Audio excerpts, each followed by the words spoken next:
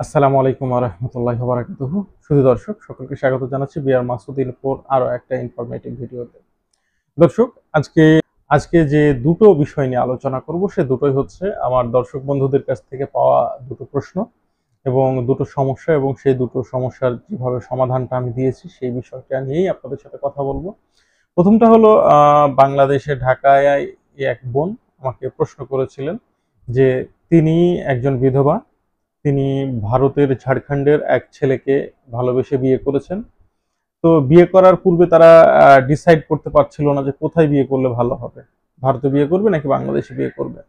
তো যে কোনো এক ইউটিউবার কাছে একটু রং ইনফরমেশন নিয়ে মানে সেই ইউটিউবারও তাকে ভালো ইনফরমেশন দিতে পারেনি।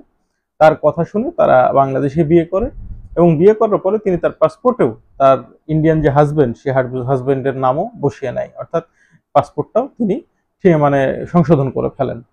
এরপর যেটা হয়েছে, তারা তিনি আর ভারতের স্পাউস ভিসার জন্য অ্যাপ্লাই করলেও কোনো কাজ হচ্ছে না। ঠিক আছে? আর এই ক্ষেত্রে কিন্তু এমনটাই হয়। আপনি ভারত বাংলাদেশের মধ্যে যদি বিয়ে করতে চান, তাহলে প্রথমত যে কাজটা করতে হবে, সেটা হচ্ছে আপনি কোন দেশে বসবাস করবেন।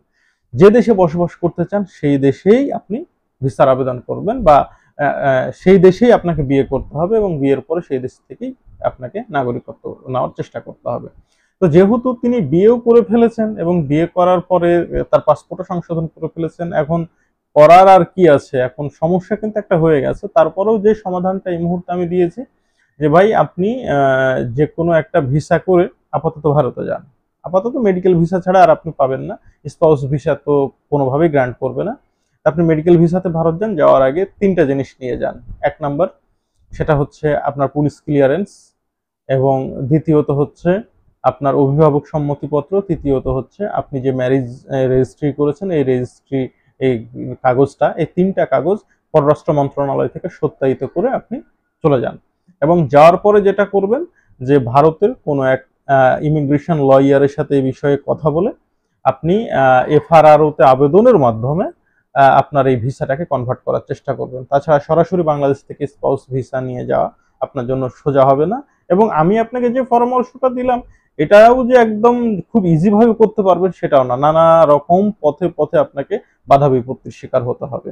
আর আবারও বলছি, বাংলাদেশ এবং ভারত এই দুই দেশের মধ্যে যখন বিয়ে করবেন, বিয়ে করার ক্ষেত্রে সবচেয়ে বেশি প্রাধান্য দেয় ভারত যে বিষয়টা, সেটা হচ্ছে বাংলাদেশের সেই মহিলা বা পুরুষটা অবিবাহিত কিনা। বিবাহিত হয়ে গেলেই সমস্যা হয়ে যায়। তারপরে আপনি হচ্ছেন একজন ডিভোর্সি তারপরেও দেখা যাচ্ছে যে আপনি মানে বিয়েটা বাংলাদেশে আবারও এগেন করে ফেলেছেন পাসপোর্টও চেঞ্জ করে ফেলেছেন, ঠিক আছে?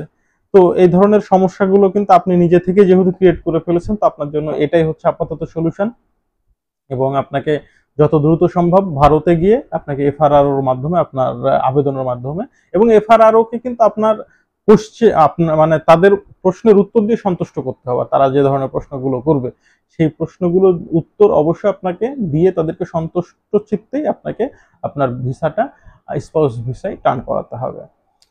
তো, দ্বিতীয় প্রশ্নে আসছে বা দ্বিতীয় প্রশ্ন হচ্ছে, কলকাতা থেকে এক ভাই প্রশ্ন করেছেন যে, তিনি বাংলাদেশের একজন মেয়েকে বিয়ে করতে চান, তো সে মেয়েটা হচ্ছে বিধবা এবং তার বাবা মা কেউ নাই তো এখানে সমস্যা হচ্ছে দুটো। এক নম্বর হচ্ছে বিধবা আর দ্বিতীয় হচ্ছে বাবা মা কেউ নাই যেহেতু অভিভাবক সম্মতিপত্র লাগে।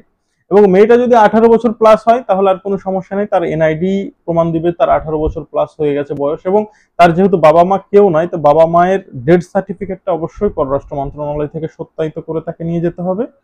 আর সেই সাথে আরেকটা কাজ করতে হবে, তাকে অবশ্যই পুলিশ ক্লিয়ারেন্সটা নিতে হবে এবং পুলিশ ক্লিয়ারেন্স নেওয়ার সাথে সাথে তাকে আরও একটা কাজ করতে হবে, সেটা হচ্ছে যে তার এলাকায় যে স্থানীয় কাউন্সিলর আছে বা মেম্বার আছে, তার থেকেও একটা সার্টিফিকেট নিয়ে সেটাকেও সম্ভব হলে পররাষ্ট্র মন্ত্রণালয় থেকে অ্যাটাচ করতে হবে। তার থেকে কি সার্টিফিকেট নেবে?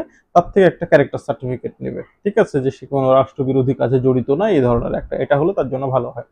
এরপর যে কোনো একটা ভিসা নিয়ে সে ভারতে চলে যাবে এবং ভারতে যাওয়ার পরে ভারতের যে special marriage act nineteen fifty four section thirteen and sixteen এটার আন্ডারে তারা বিয়ে করবে এবং বিয়ে করার পরপরই তারা এফআরআরও বরাবর আবেদন করবে এবং এফআরআরও বরাবর যখন আবেদন করবে তখন কিন্তু এই সমস্ত কাগজগুলো লাগবে এবং এফআরআরও কিন্তু আপনাকে এই ভিসাটাকে যখন স্পাউস ভিসায় টার্ন করবে তার আগে কিন্তু এই সমস্ত কাগজগুলো সব বাংলাদেশে অবস্থিত ভারতীয় হাই কমিশন দিয়ে কিন্তু এরা চেক করাবে। যদি দেখে সবকিছু ঠিকঠাক আছে, তাহলে কিন্তু আপনার ভিসাটা স্পাউস ভিসায় কনভার্ট করে দেবে এবং টানা তিন বছর আপনি ভারতে থাকতে পারবেন, এতে কোনো সমস্যা নেই।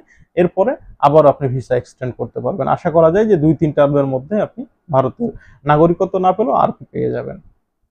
সকলকে ধন্যবাদ। আসসালামু আলাইকুম আ রহমতুল্লাহ।